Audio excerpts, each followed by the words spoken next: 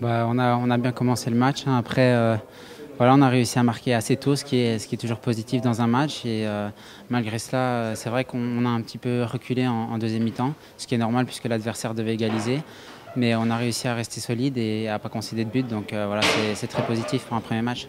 Ouais, bah, c'est la meilleure manière pour commencer une saison. Hein, je pense euh, pas prendre de but, euh, gagner. Donc euh, voilà, c'est très positif, surtout contre une équipe de Courtrai qui est une équipe pas facile à jouer, qui est très physique. Donc voilà, c'est un très bon premier match. Maintenant, à nous de continuer.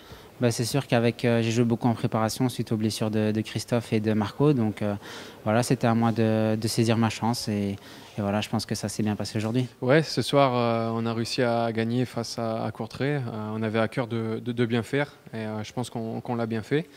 Et la chose positive, c'est qu'on prend les trois points ce soir. Bah, c'est un système qu'on a beaucoup occupé pendant, pendant la préparation. Et puis, puis le coach m'a donné ça, cette confiance de, commencer ce soir.